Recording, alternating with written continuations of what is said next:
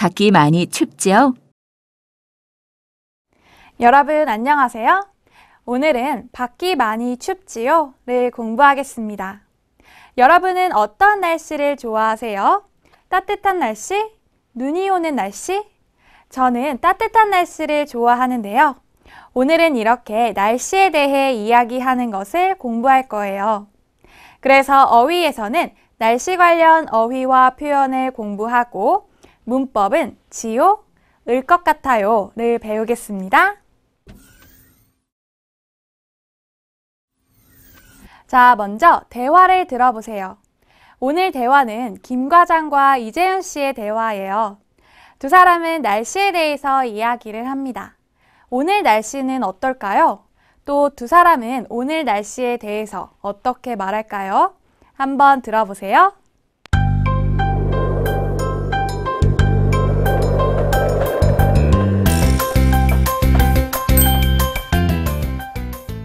이 부장님, 밖이 많이 춥지요?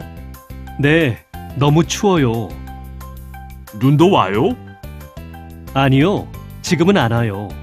하지만 곧 눈이 올 것 같아요. 따뜻한 차 한 잔 드릴까요? 네, 감사합니다. 한 잔 주세요. 네, 잘 들었어요? 오늘 날씨가 어때요? 네, 아주 춥다고 해요. 그리고 지금 눈도 와요? 내용을 더 자세히 알아보기 전에 먼저 대화에 나온 어휘와 문법부터 공부해 볼까요? 먼저 어휘입니다. 따라 읽어 보세요. 박, 박. 건물이나 방 안에서 나가면 밖이에요. 저는 지금 건물 안에 있어서 밖에 날씨가 어떤지 알 수 없어요. 그래서 조금 전에 건물 안으로 들어온 사람에게 물어봅니다. 밖에 날씨가 어때요? 저는 지금 교실 안에서 공부를 하고 있는데요. 교실에서 나간 친구들이 교실 밖에서 놀고 있어요. 교실 밖이 너무 시끄러워요. 다음 어휘입니다. 따라 읽어보세요. 눈이 와요. 눈이 와요.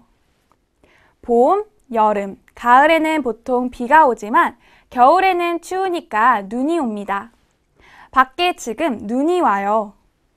그런데 지금 내리는 눈이 이번 겨울에 처음 내리는 눈이에요. 첫눈이 와요. 따라 읽어보세요. 곧, 곧. 지금은 겨울인데요. 하늘을 봤는데 너무 흐려요. 아주 조금 후에 곧 눈이 올 것 같아요. 하늘을 보니 곧 눈이 올 것 같아요.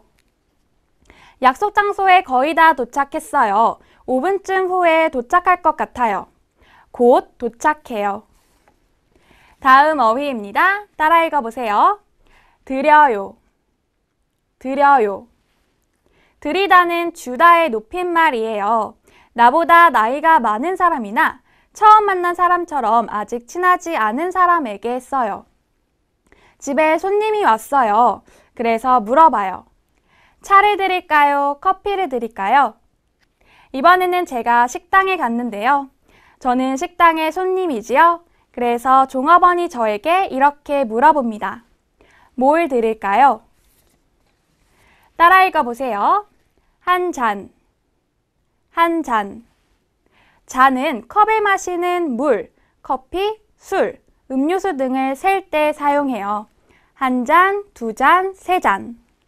혼자 커피숍에 가서 차를 시킵니다. 차 한 잔 주세요. 이번에는 친구와 같이 커피숍에 갔어요. 두 명이니까 종업원이 이렇게 물어봅니다. 커피 두 잔 드릴까요? 이제 배운 어휘를 다시 한번 확인해 보죠. 건물이나 방에서 나가면 어디예요? 네, 밖, 밖이지요? 다음, 봄, 여름, 가을에는 비가 와요. 그런데 겨울에는 추우니까 네, 눈이 와요. 아주 조금 후에 라는 뜻이에요. 뭐예요? 네, 곧. 친구나 친한 사람에게는 줘요 라고 말해요. 그런데 조열을 높여서 말하면 뭐지요? 네, 드려요. 컵에 마시는 물, 커피, 차를 셀 때 쓰는 말이에요. 물, 커피, 차. 네, 한 잔. 잘하셨습니다.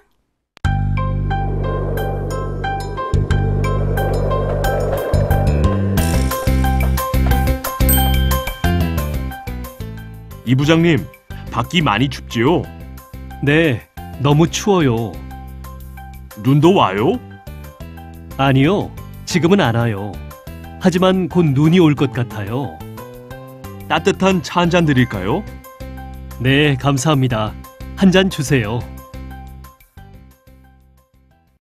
이제 대화를 같이 한번 보죠. 오늘 대화는 이재훈 씨와 김 과장의 대화인데요. 이재훈 씨가 밖에서 사무실 안으로 들어오는데 사무실 입구에서 김 과장과 만납니다. 그런데 밖에서 들어온 이재훈 씨가 너무 추워 보여요. 그래서 김 과장이 이재훈 씨에게 이렇게 물어봐요. 이 부장님, 밖이 많이 춥지요? 어때요? 네, 너무 추워요. 그래서 김 과장이 이재훈 씨에게 눈도 와요? 하고 질문했어요. 어때요? 눈도 와요? 아니요, 지금은 안 와요. 지금은 눈이 안 와요. 하지만 이재훈 씨는 지금 날씨가 너무 흐리고 추워서 곧 눈이 올 거라고 생각해요. 하지만 곧 눈이 올 것 같아요. 아주 추운 날씨지요. 그래서 김 과장이 이재훈 씨에게 말합니다. 따뜻한 차 한 잔 드릴까요? 이재훈 씨가 대답해요. 네, 감사합니다. 한 잔 주세요. 여러분이 있는 곳은 날씨가 어때요? 그것도 추워요? 추우면 여러분도 따뜻한 차 한 잔 마시면서 공부하세요.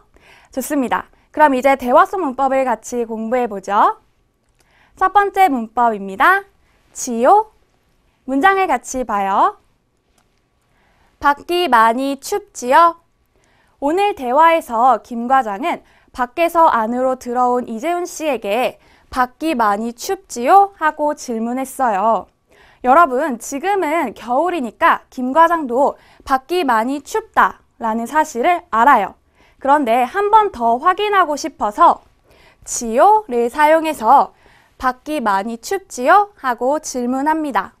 이렇게 지요는 이미 알고 있는 사실을 한 번 더 확인할 때 사용해요.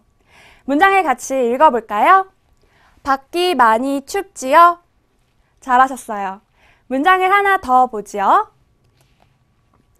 두 사람이 대학 동창이지요? 여러분, 저는 이 두 사람이 대학 동창인 것을 이미 알아요. 그런데 한 번 더 확인하고 싶어요.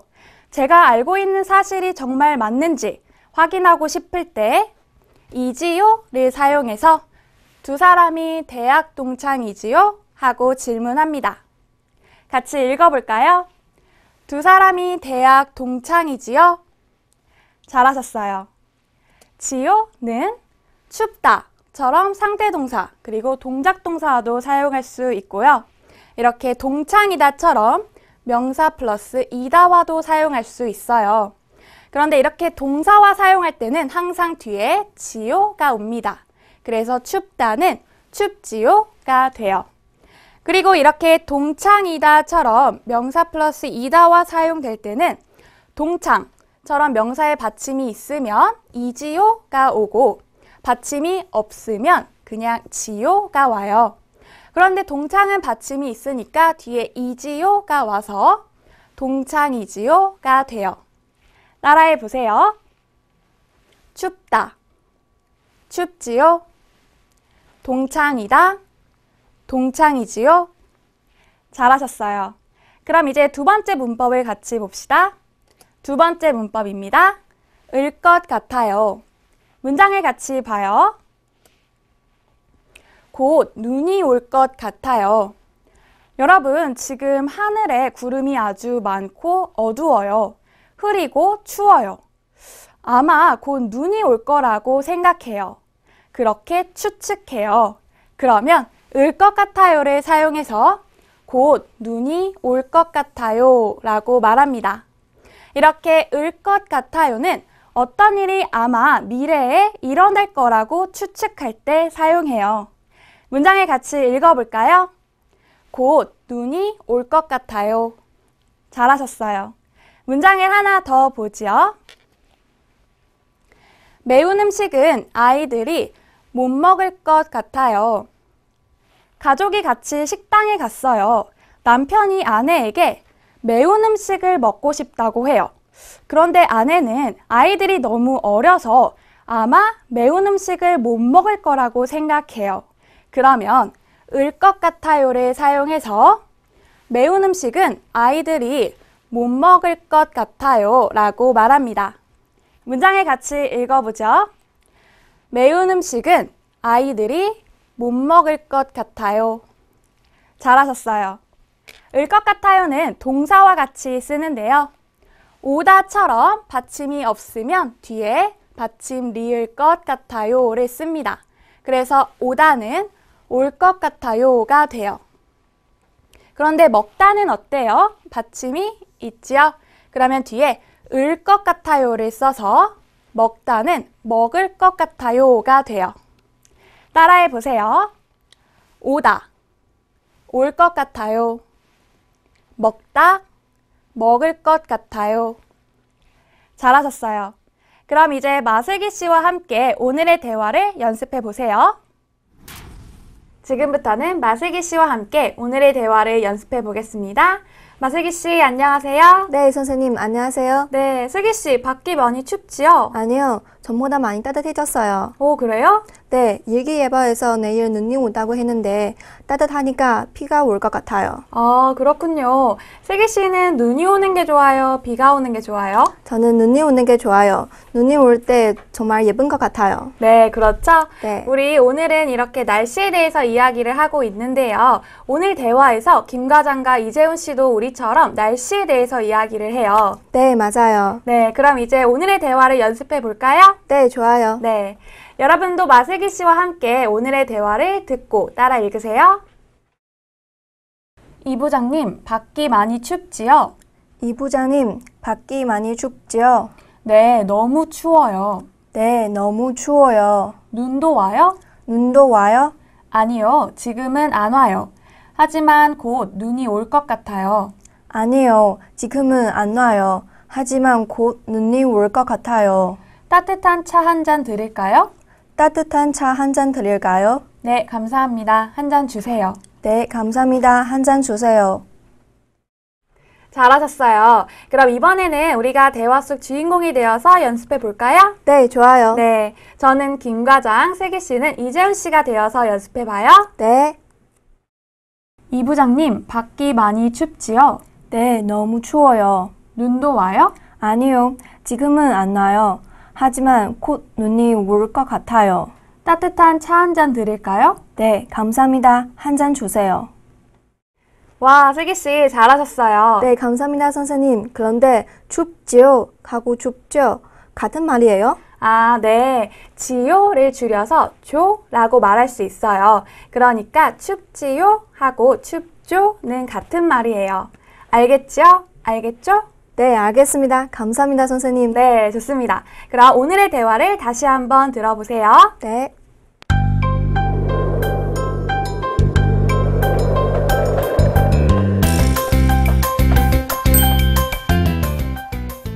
이 부장님, 밖이 많이 춥지요? 네, 너무 추워요. 눈도 와요? 아니요, 지금은 안 와요. 하지만 곧 눈이 올 것 같아요. 따뜻한 차 한 잔 드릴까요? 네, 감사합니다. 한 잔 주세요.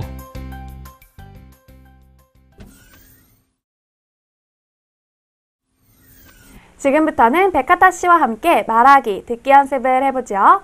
백하타 씨, 안녕하세요. 네, 안녕하세요, 선생님. 네, 백하타 씨, 우리 오늘은 날씨에 대해서 이야기를 하고 있는데요. 에티오피아에는 눈이 안 오지요? 네, 눈은 오지 않고 비는 와요. 음, 그럼 한국에서 눈을 처음 본 거예요? 네, 한국에서 처음 봤어요. 에티오피아에 가면 눈이 그리울 것 같아요. 아, 그렇겠네요. 그럼 눈이 많이 오는 날에 사진을 찍어서 가족들에게도 보내주세요. 네, 알겠습니다, 선생님. 네, 그럼 이제 우리 말하기 듣기 연습을 해볼까요? 네, 먼저 앞에서 배운 어휘와 문법으로 말하기 연습부터 해보죠. 네, 여러분도 백가타 씨와 함께 말하기 연습을 해보세요. 먼저 지요를 사용해서 말해보세요. 네, 김유미 씨가 건물에 들어갔는데요. 김유미 씨는 지금 있는 곳이 지하 1층이라고 생각해요. 그런데 지하 1층이 맞는지 한 번 더 확인하고 싶어 해요. 그래서 다른 사람에게 물어봅니다. 어떻게 말할까요? 여기가 지하 1층이죠? 네, 맞아요. 지하 1층 받침이 있는 명사니까 뒤에 이지요를 사용해서 여기가 지하 1층이지요? 라고 말하죠? 네. 잘하셨어요. 그런데 어때요? 여기는 지하 1층이 맞아요? 네, 지하 1층이에요. 그렇죠. 잘하셨습니다. 이번에도 지요를 사용해서 말해보세요. 네, 준수는 한국어 공부가 재미있다고 생각해요. 그리고 준수는 유진이도 한국어 공부를 재미있어 한다고 생각해요. 그런데 준수는 유진이가 정말 한국어를 재미있다고 생각하는지 확인해 보고 싶어서 말합니다. 뭐라고 말할까요? 한국어 공부가 재미있죠? 네, 지요를 사용해서 한국어 공부가 재미있지요? 라고 말하지요. 잘하셨어요. 어때요? 유진이는 정말 그렇게 생각해요? 유진이가 뭐라고 대답하지요? 네, 한국어 공부가 정말 재미있어요. 그렇죠. 유진이는 정말 한국어 공부가 재미있다고 생각하네요. 어때요? 백화타 씨도 한국어 공부가 재미있지요? 네, 정말 재밌어요. 네, 좋습니다. 그럼 계속해서 연습해 보죠. 네, 이번에는 을 것 같아요를 사용해서 연습해 봐요. 네, 이재훈 씨와 회사 동료가 퇴근을 하는데요. 동료가 이재훈 씨에게 말합니다. 날씨가 흐리고 추워요. 백하타 씨, 겨울인데 날씨가 흐리고 추워요. 그러면 아마 곧 눈이 오다. 어떻게 말하지요? 네, 곧 눈이 올 것 같아요. 네, 그렇지요. 곧 눈이 올 것 같아요. 잘하셨습니다. 이번에도 을 것 같아요를 사용해서 말해보세요. 네, 준수가 혜진이에게 질문해요. 시험 공부 많이 했어요? 백하타 씨, 어때요? 혜진이는 시험 공부 많이 했어요? 아니요, 시험 공부를 많이 못했어요. 네, 공부를 많이 못했지요. 그러면 어때요? 아마 시험을 못 보다. 그럼 혜진이가 어떻게 말하죠? 시험을 못 볼 것 같아요. 네, 맞아요. 공부를 많이 못해서 시험을 못 볼 것 같아요. 잘하셨어요? 이번에는 듣기 연습을 할 거예요. 오늘은 준수가 집에 들어왔는데 아주 더워 보여요. 그래서 엄마 김유미 씨가 준수에게 날씨에 대해서 질문을 하는데요. 무슨 질문을 할까요? 한번 들어보세요. 네, 밖이 많이 덥지? 네, 너무 더워요. 그런데 날씨가 흐리네. 곧 비가 올 것 같아요.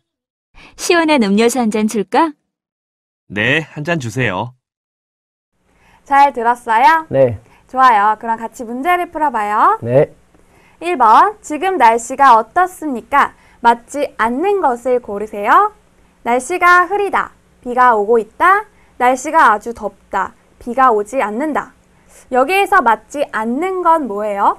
비가 오고 있다요. 아직 비가 오지 않아요. 네, 그렇죠. 잘하셨어요. 네, 그럼 2번. 들은 내용과 같으면 O, 다르면 X 하십시오. 네, 날씨가 흐려서 비가 올 것 같습니다. 어때요? 들은 내용과 같아요? 네, 날씨가 흐려서 비가 올 것 같다고 했어요. 네, 그렇지요. 잘하셨어요. 네. 그럼 다음.